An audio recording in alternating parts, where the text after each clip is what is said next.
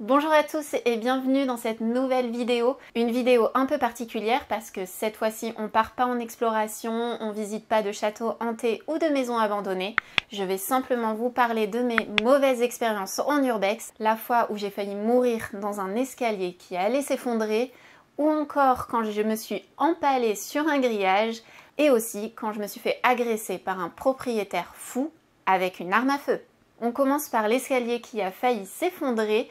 J'étais partie en exploration urbaine euh, du coup dans un couvent abandonné. Le lieu était vraiment très sympa. Je vous mets la vidéo juste ici si vous souhaitez la regarder. Euh, l'escalier était vraiment très pourri et en fait simplement on voulait accéder au clocher du couvent qui avait l'air magnifique.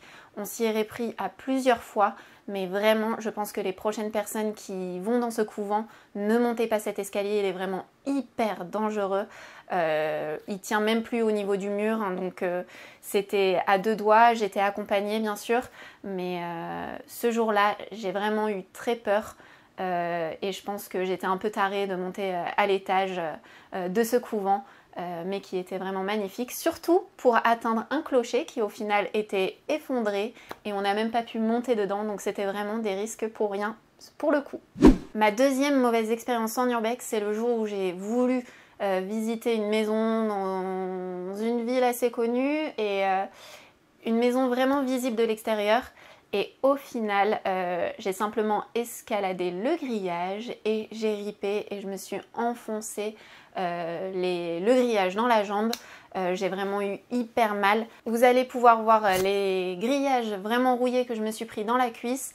ce qui m'a valu un rappel d'urgence anti-tétanique et je me suis rendu compte que mes vaccins n'étaient pas mis à jour. Donc voilà, faites vraiment gaffe quand vous montez les grillages. Euh, vraiment, j'ai cru que en plus ça m'avait percé le muscle sur le cou.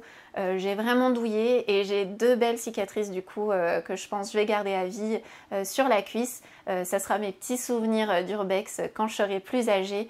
mais comme quoi l'urbex ça peut être dangereux même pour un truc un peu débile, monter un grillage et voilà on s'empale la cuisse et ça nous vaut des rappels anti-tétaniques. Et c'est parti pour ma dernière et pire anecdote en urbex. La fois où je me suis fait agresser euh, avec un flingue sur la tempe par le propriétaire, je suppose, de la maison.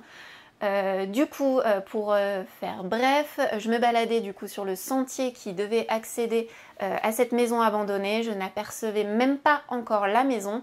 le sentier était visible depuis la route hein, en plus. Donc je pouvais me balader là pour ramasser des fleurs, hein, euh, si on, veut être fleur bleue. Euh, du coup, j'aperçois au loin euh, une personne. Comme je fais de l'urbex en tout bien tout honneur, je continue à avancer très tranquillement, me disant que ça peut être bah, soit un urbexeur, soit le paysan du champ d'à côté, ou voire même le propriétaire avec qui j'aurais pu discuter. Mais manque de peau, je tombe donc sur quelqu'un de très agressif qui arrive en me filmant. Euh, qui me dit euh, carrément euh, d'un ton hyper agressif ça y est, je te tiens, je te vois enfin, voilà, enfin je vous passe les détails.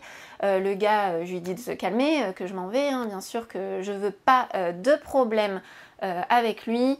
Bref, là, le mec hyper énervé commence à montrer qu'il veut se fighter déjà en me faisant des points de boxeur.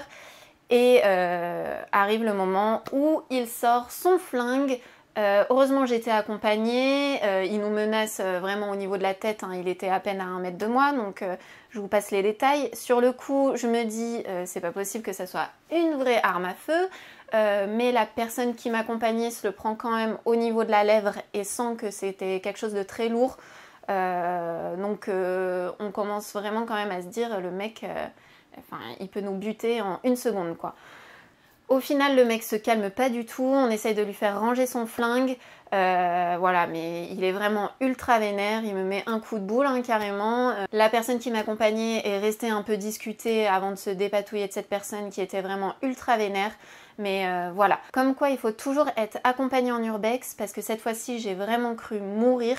Et je sais pas ce qu'il aurait pu me faire euh, si j'avais été seule.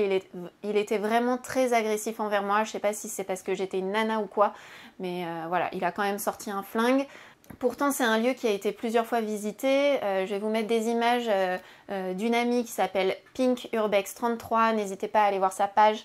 Je vous mets le lien en commentaire et voilà, c'est vraiment une belle demeure mais du coup que j'ai pas pu visiter et pour le coup j'ai vraiment eu la peur de ma vie et je n'y retournerai pas.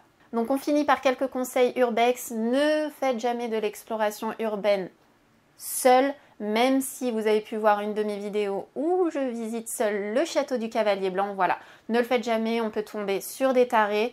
Et bien sûr, quand vous rentrez dans des maisons, ne rentrez jamais par effraction et ne volez jamais d'objets. L'urbex, c'est vraiment découvrir des lieux qui ont été habités autrefois, parfois des lieux historiques mais c'est pas du tout quelque chose qui rentre dans la dégradation de ces lieux.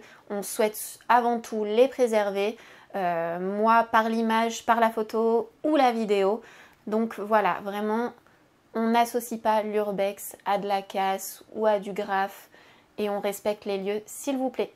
Voilà, c'est la fin de ma vidéo sur mes pires expériences en urbex. N'hésitez pas à me dire aussi si vous avez vécu des moments angoissants lors de vos explorations et dites-moi votre avis sur la réaction de ce mec complètement starbé avec son flingue. Je vous dis à très bientôt en tout cas pour une prochaine vidéo, cette fois-ci en exploration. Bye bye